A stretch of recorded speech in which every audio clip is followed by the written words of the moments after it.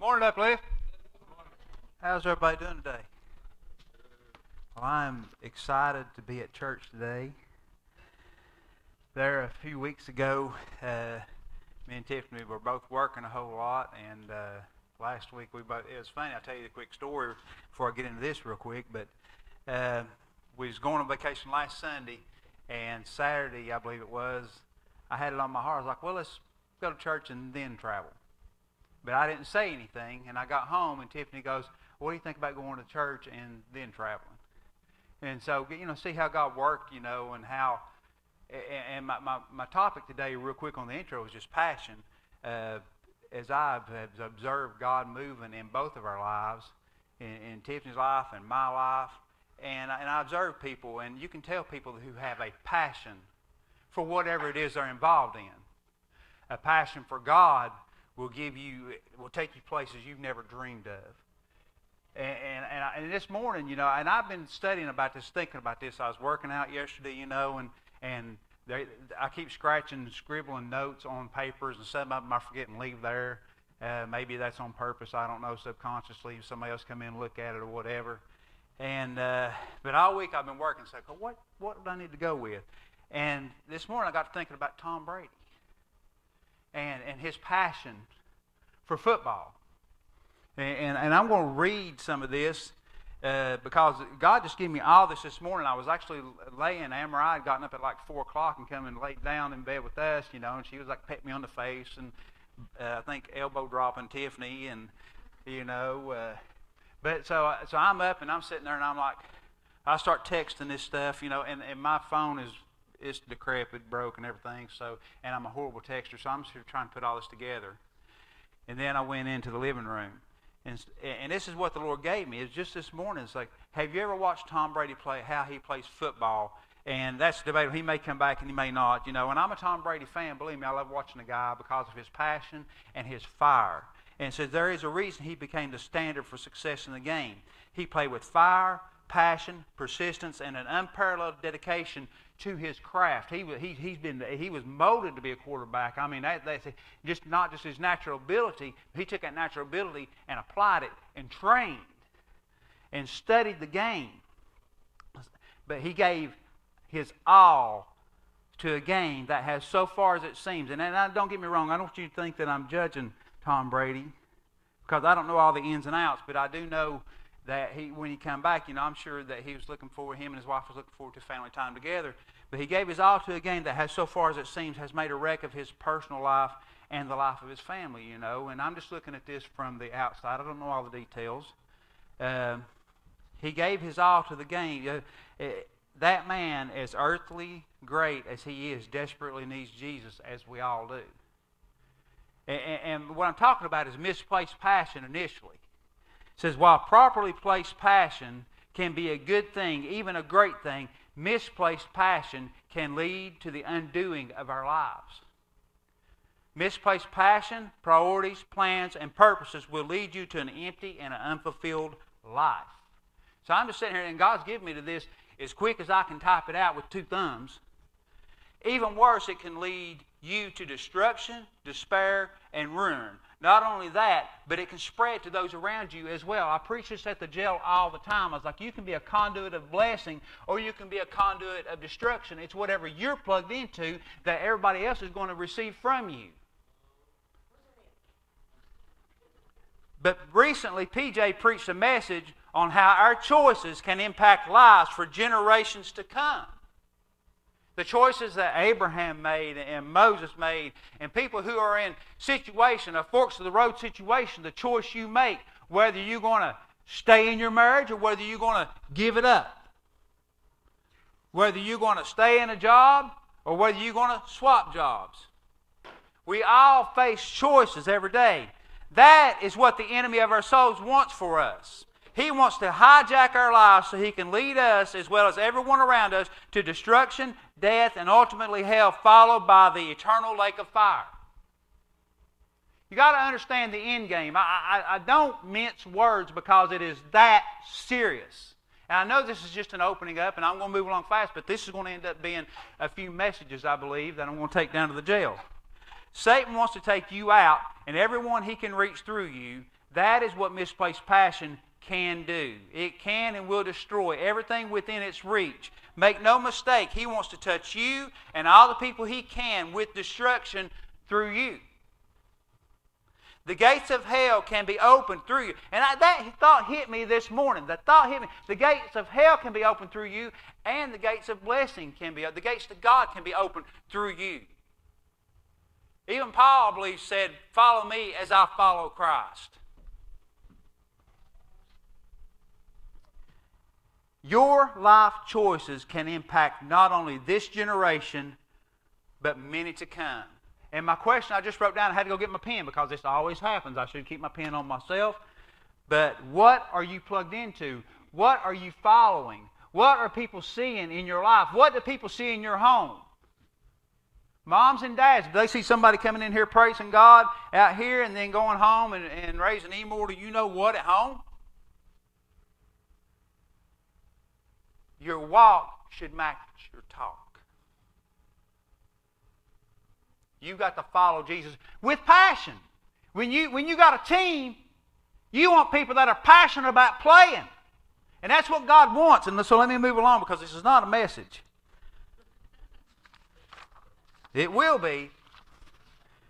Yet when you live for God, look out. When your will is lined up with God's will for your life, there is no limit to the amount of love, joy, and fulfillment that you'll experience. And believe me on this too, it will spread like wildfire, or more appropriately said, Holy Spirit fire, like on the day of Pentecost in the book of Acts. When people see and perceive what God is doing in you and your family's life, they're going to start asking questions, especially if their life is struggling and in a wreck. Because we've all, we've all been there. We can all end up there due to the choices we make in every situation, in every circumstance. You will live, love, serve, and please God with such ferocity and fire, it will inspire the same spirit to those people around you.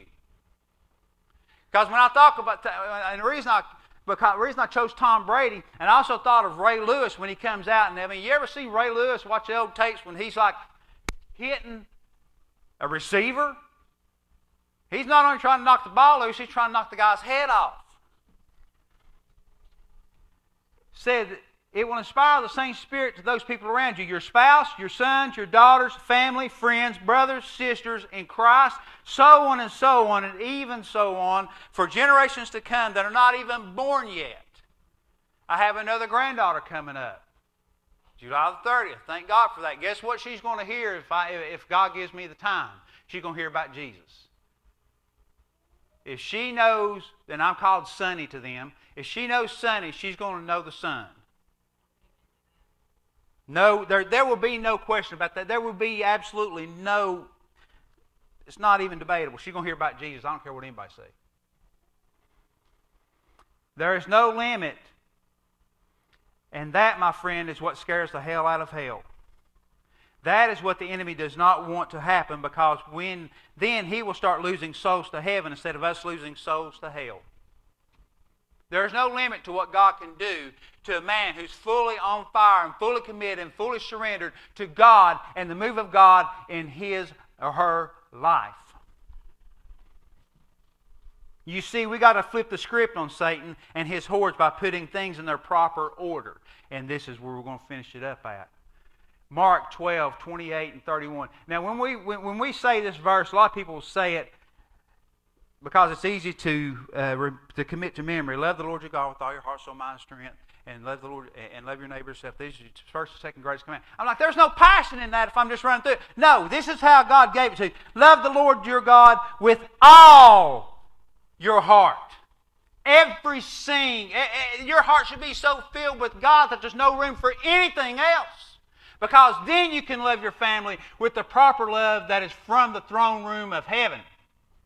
Love the Lord your God with all your soul, with everything that's in you, all your being, passionately, not flippantly, not sleepily. I shared this with, with some people yesterday. I was like, I can tell the difference between preaching in jail and preaching in most churches is because these guys in jail, when I when I was finishing up, like, well, let's say, let's get ready to pray, and without even me saying anything, they, they, they, they, they locked arms and they bowed over. And every one of those guys, the, all four pews was full, and they were locked over, bowed down with passion. Love the Lord your God with all your mind. Don't let anything get in your mind that's going to compete with your allegiance to God. Nothing.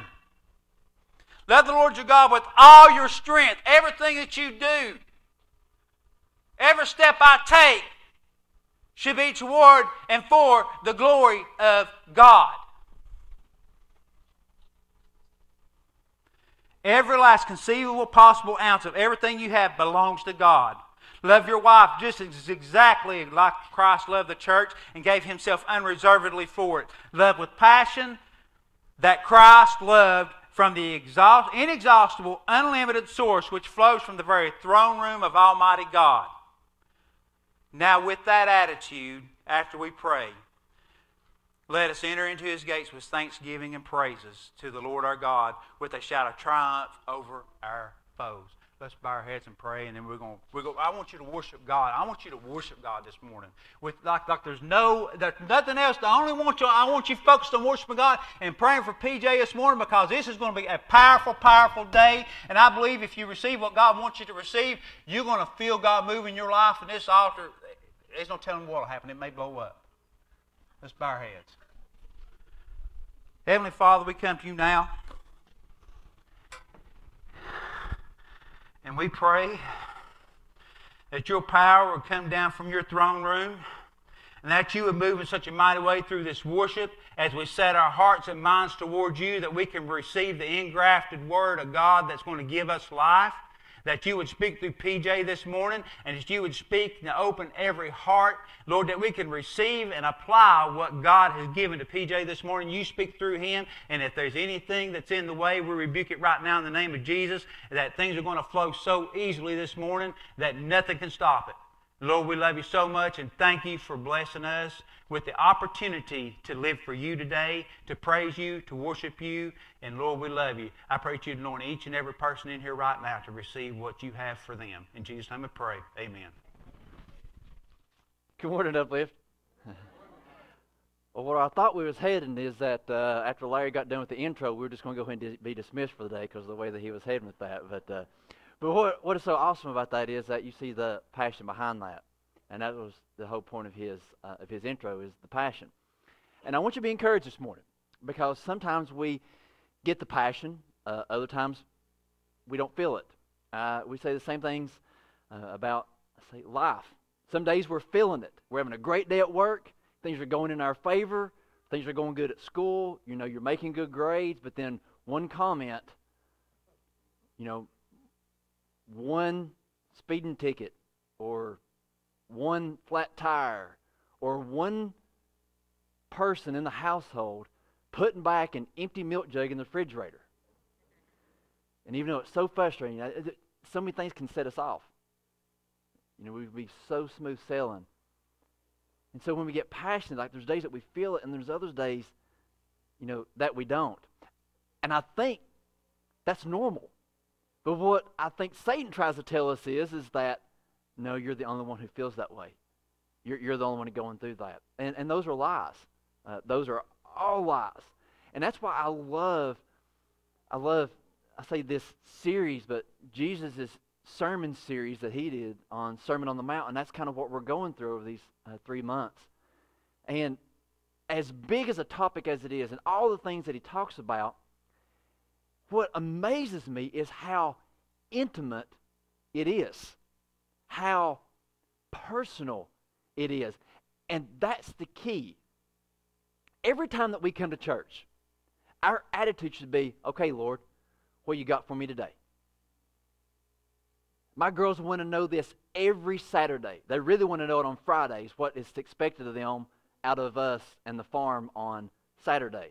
So they want to know What's the plan for tomorrow? What do, what do we got to do? They want to know the expectations. They want to know where they stand. And I think it's the same thing that we got to do with every time we come to church. Okay, God, what you got for me today? And maybe what Larry said, maybe it didn't catch with you, but maybe some of those worship songs did.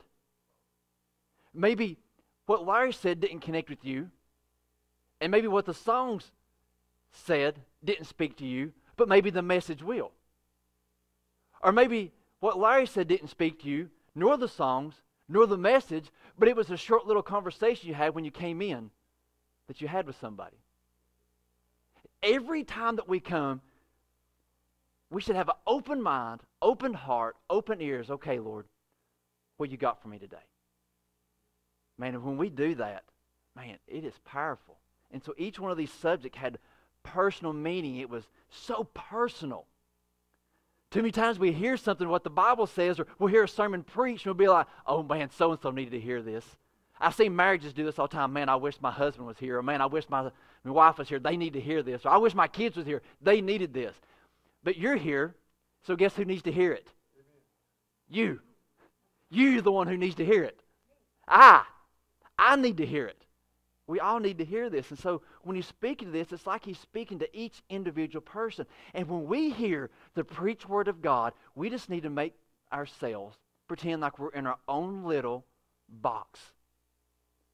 Our own little personal God box where he is speaking to you. Lord, what have you got for me today? Lord, speak to me today. One of my favorite prayers uh, that Super has prayed over the years is open our ears that we may hear what you'd have us to hear.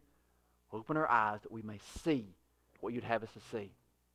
That's our prayer right now. Heavenly Father, open our eyes that we can see what you'd have us to see. Open our ears so that we can hear what you'd have us to hear. That is my prayer for you this morning.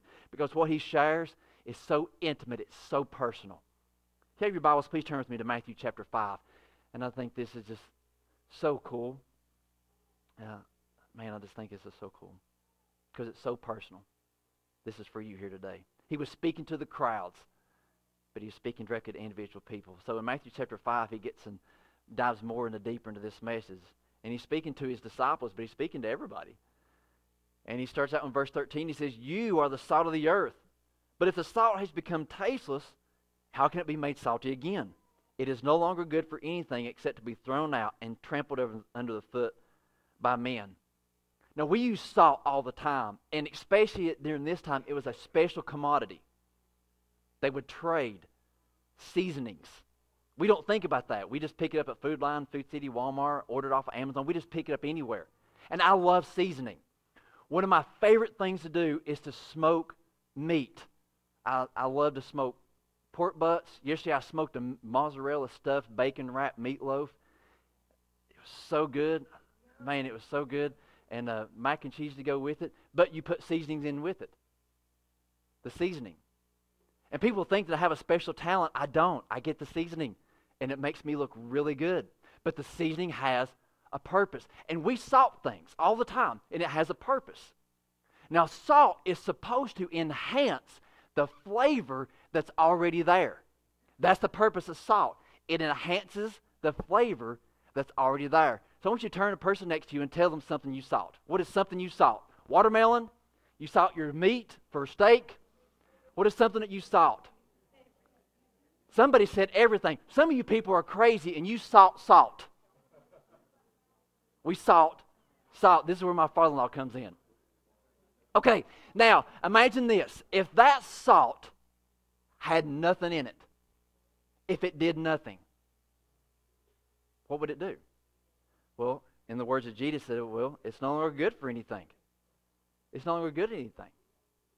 So let's back up. It looks like how he made this personal. He said, You, you are the salt of the earth. You. He's speaking to you. And you may be here thinking, oh, well, he's speaking to so and so. Oh, he's speaking to the preacher. Oh, he's speaking to our youth pastor, Jason. Oh, he's speaking to Larry. Oh, he's speaking to Melly. No, he's speaking to you. You are the salt of the earth. And we love pointing out everybody else, oh, I'm not the salt they are. No, there's no excuse. Everybody in here today, you are the salt. Now, he goes on to explain that we have a purpose. You have a purpose. You're the salt. And if we're not fulfilling our purpose, that's when we become tasteless. As he said, worthless. So, what are we doing with our saltiness? What are we doing with it? Now, I sweat, especially when I'm working, and uh, it's so funny because when I do, the, the salt comes out in, in your sweat.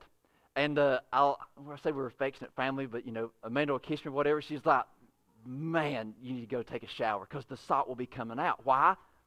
Because it's very distinct. You cannot deny it. We cannot deny what is inside of us.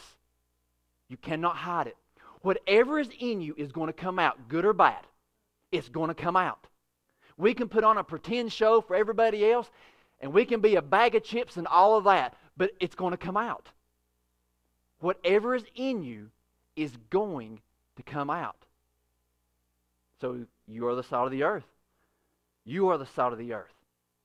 So you have a purpose. Sometimes we need to be reminded of that. You have a purpose. Turn to the person next to you and tell them you have a purpose.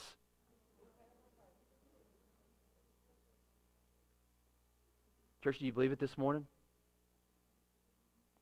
See, some of you maybe feel like Larry's intro this morning and think like, I'm not feeling it. I don't feel like I have a purpose. I don't feel like I have a passion. I'm here out of obligation. I'm here because I just want to check a box. You have a purpose. And he defines this purpose. He defines the salt. Look at verse 14. He goes on to say, You are the salt of the earth. Now he says in verse 14, You are the light of the world. Not Larry. Larry is a light, but you are a light. You. Every one of us is a light. You are the light of the world. A city set on a hill cannot be hidden. What are you telling you? You cannot hide your light. People are going to see something in you. And it's so evident that you cannot deny it. You are a light. It will light. You are a light. Every one of us. You are a light. I'm a light. We're all a light. And he says it cannot be hidden. So when people look at you, they're going to see something. They're going to see some kind of light in you. Now, he goes on to say it cannot be hidden. You cannot hide your light. What did I tell you about the salt? Something, whatever's in you, is going to come out. They're going to see something in you. And you may be here today saying, I don't want people to be looking at me. I don't want people to be watching me. Parents, your kids are watching you. Grandparents, your kids are watching you. You go to work, people are going to be watching you. We talked about this last week. People are always watching, always watching. So he says it cannot be hidden. I love verse 15. Nor does anyone light a lamp and put it under a basket, but on a lampstand. So here's, here's the stand. Okay? They put on a stand. Why? For all the house. It gives light to all who are in the house to help them see. So he says, Let your light shine before men in such a way that they may see your good works and glorify your Father who is in heaven. Let your light shine. This verse is where we get the little kid song. You know what I'm talking about? This little light of mine, I'm going to let it shine. We, we, we're not going to sing the whole thing because I'm not that good at it, but there's a part in this song that it says, hide it under a. This is a bushel basket. That's what this is. It's a bushel basket. Now, my intention was is I was going to lay this over top of it, but my flame is a little high, and I'm not going to do that this morning. Please note your fire extinguishers are located at the back. No. We don't hide it. Imagine this. You're in a home that their only source of light is a candle or, or a lamp. So you light up for your house, said, okay, kids, time for supper. And you don't put it under basket. No. You put it up high for everybody to see. We don't hide it. And I think oftentimes this is the way that we're going around in our lives, carrying around a bushel basket, figuratively. No, not figuratively. We should be going around holding a light, not trying to cover up who we are. Man, could you imagine Maybe this is what you're struggling with. That you're trying to go through life hiding who you are, hiding who God created you to be. My favorite proverb is You are fearfully and wonderfully made. Don't hide who you are. He saved you to make you brand new, and He is creating in you a new creation. The old things are passed away. Behold, all things have become new. And so you don't have to hide who you are. We're supposed to let our light shine before men. What does he say? So they may see your what? Your good works. Your good works. And you may be here today thinking, what good works? I'm not that good. I think we're in light company. Paul goes on to say that even our very best is as filthy rags. So, what makes us good? Here's what puts us all on the same page, church Jesus. That's it. We are all on the same path to let a light shine before men so they can see what? Jesus. That's it. That's the key. That's the point, is that others may see Jesus in you. Now, you may be here today and saying, I don't want to be the light. You are. You cannot deny it. We are a light. We cannot hide that. So when people look at us, they're going to see something. What are they going to see? Church, let them see Jesus. Let them see Jesus. And you may be here like, I don't want people looking at me, or I don't want people following me. They are.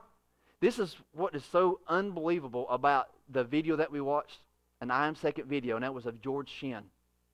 George Shinn came from nothing. Came from nothing.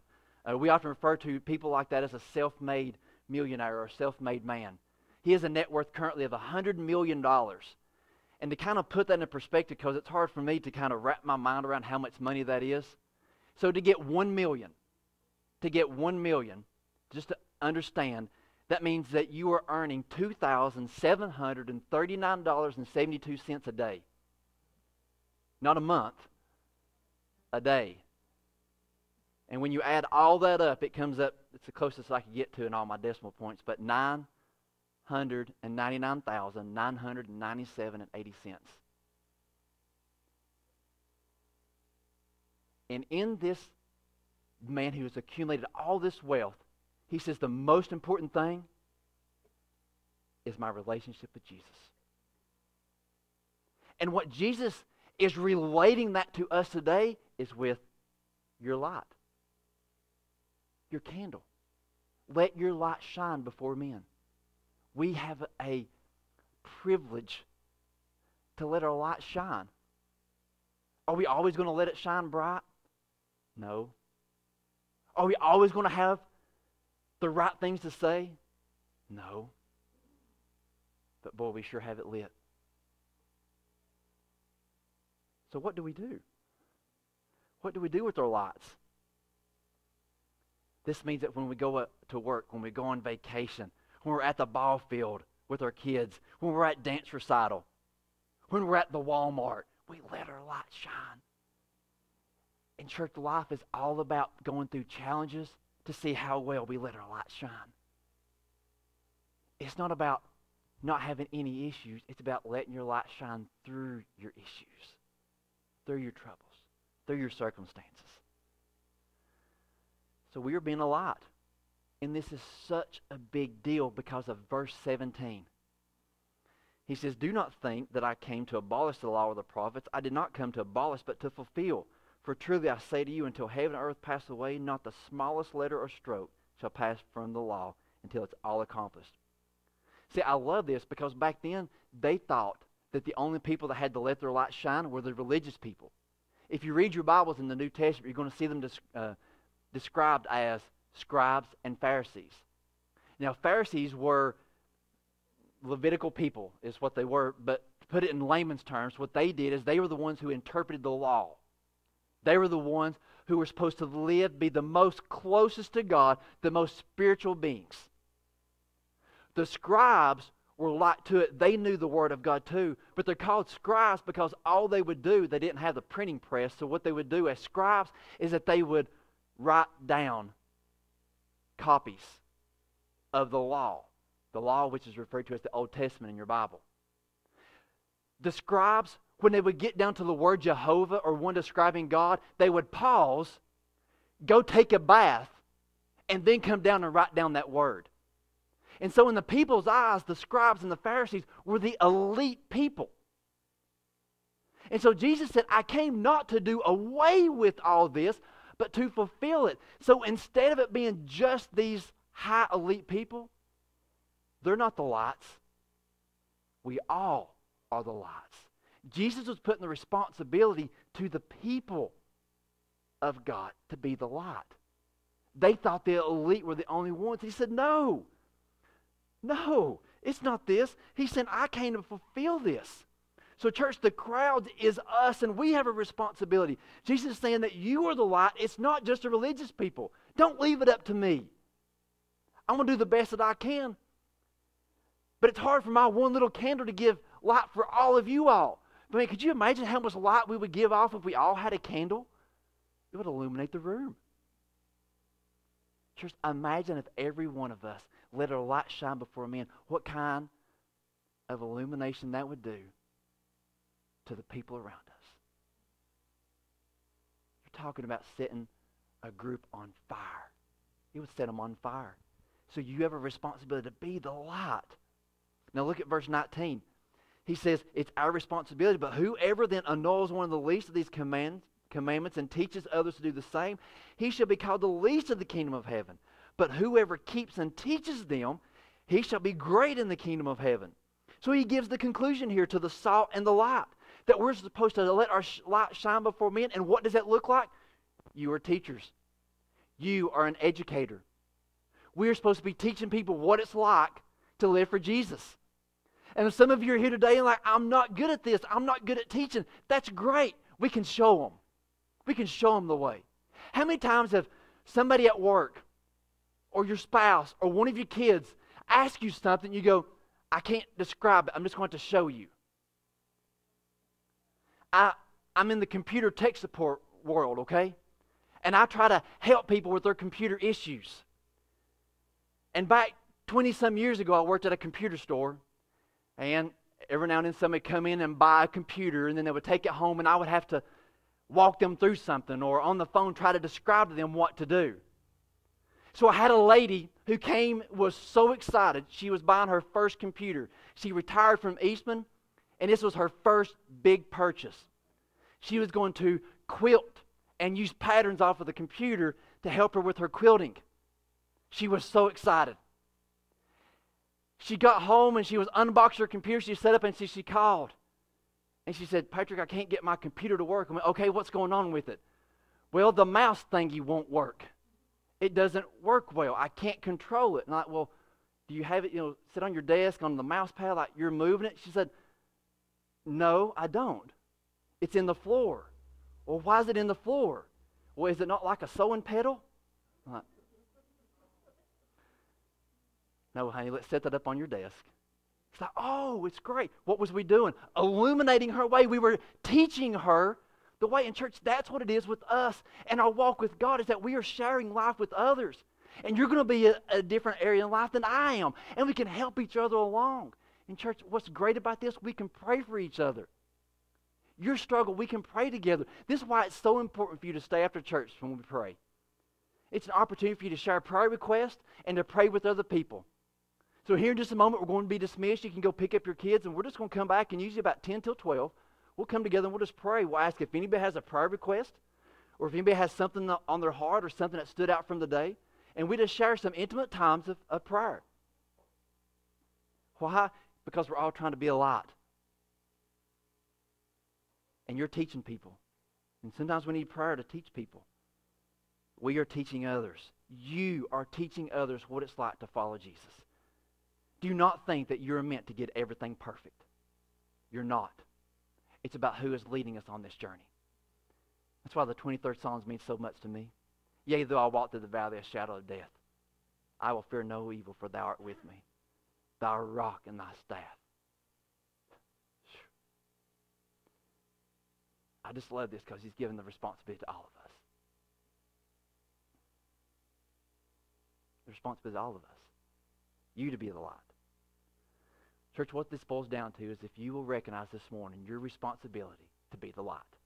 It's that simple. The second message of the Sermon on the Mount, the salt and the light. This morning, will you recognize your responsibility to be the salt, to be the light? Some of you here this morning, you're like, man, I've already accepted this and I'm well on my way. That is fantastic. Keep teaching people as you this morning, it's time for the rubber to meet the road. You need to take this serious. to get your family to church so that they can be encouraged. Not to hide their light under the bushel basket, no, but to be a light before all. To be the light. Believe it or not, school's getting ready to, man, it's getting ready to start back up, and I already see the eye rolls from the kids. That's great. I'll be a light at school. Teachers, be the light. The message this morning is very simple. Do you accept to be the light? Do you accept it?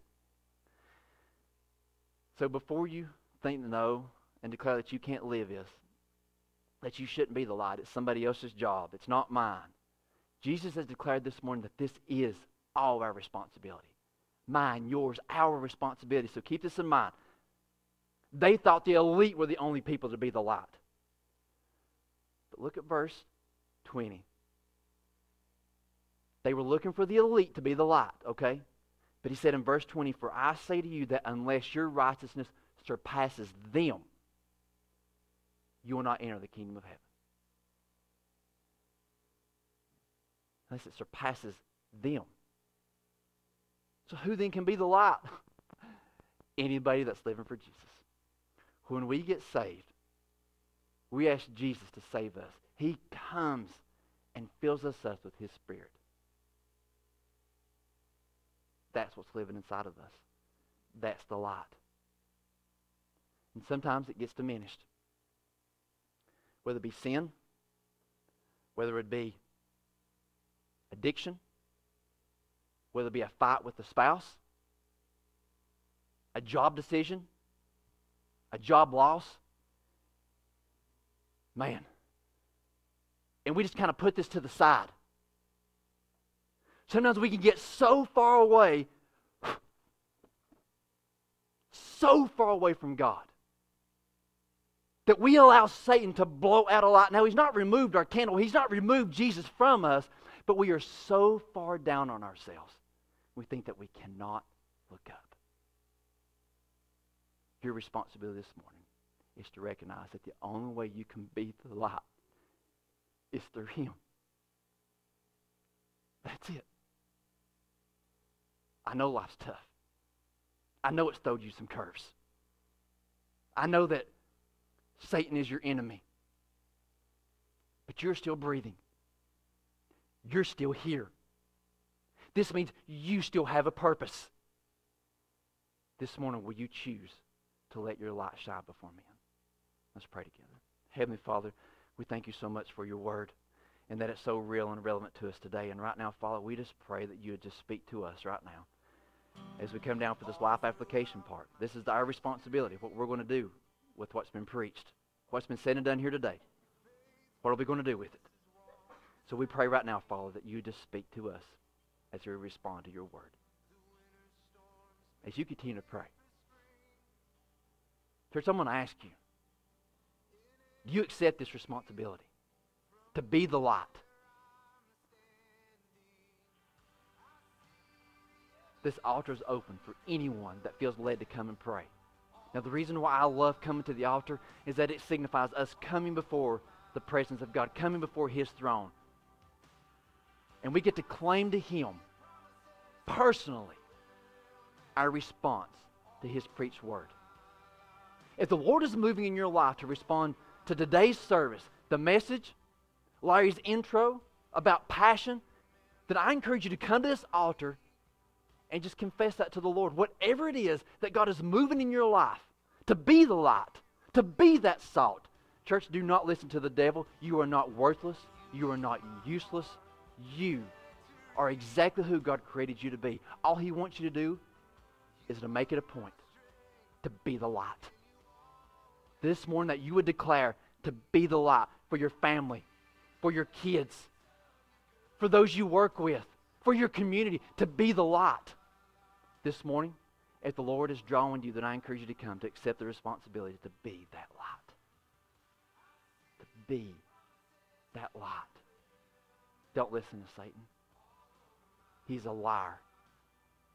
And this morning you have been challenged to be that light.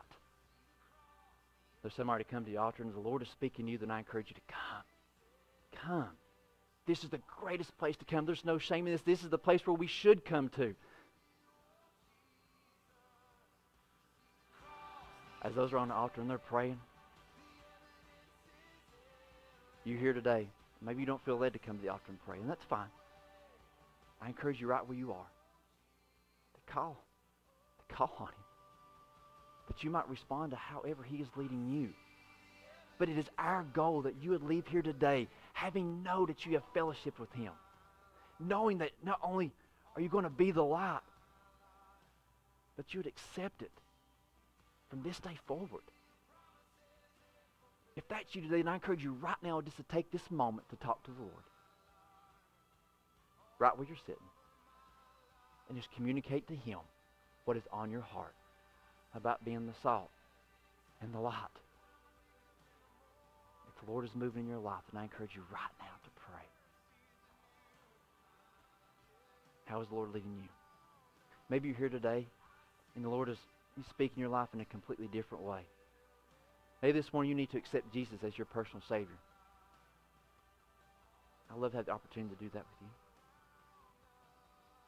If the Lord is speaking to you right now and that you need to be saved, I want us to do something bold and just come forward right here. I'll turn my mic off and we'll talk and we'll pray. And say, I need to be saved. If that's you today, then I encourage you to come. The lights are off. This is very intimate. It's just between you and God. How's the Lord speaking to you today? There may be some of you here today, and maybe there's just something going on in your life. Man, then I encourage you right now just to lift that up to the Lord. You got something going on in your life, then I encourage you right now. Usually I ask you to raise your hands up if you need prayer, but this morning I'm just going to pray along with you. Okay, if you've got something going on in your life, then I encourage you right now, we're going to pray through this together. If something is going on right now in your life, then would you pray with me right now? Pray with me right now. Lord, I give you, and you fill in the blank. Lord, I give you such and such person. I give you this situation, whatever it is. Give the Lord the details right now in your prayer. Lord, I give you this situation, this person, this need. Speak, Lord, over this situation and let me know my role. Father, give me the words of wisdom to speak when I need to speak it and for the times when I need to be silent.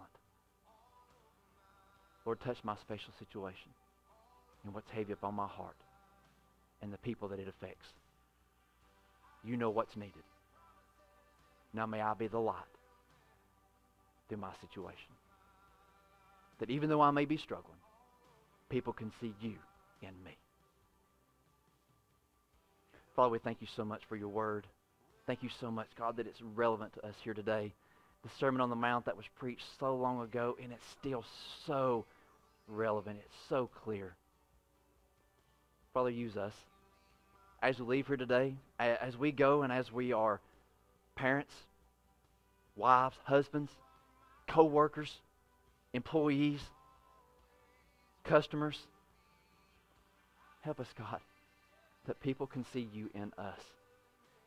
Father, forgive us for all of our many faults and failures. They are many. But thank you, God, for not being done with us yet. We ask, God, that you would anoint our actions and our words, that when we leave here today, all that we say and do will bring glory and honor to you. Thank you again, God, for what you're doing and all that you're going to do. In Jesus' name we pray. Amen. Would you take a moment to give God some praise? God, you're absolutely awesome.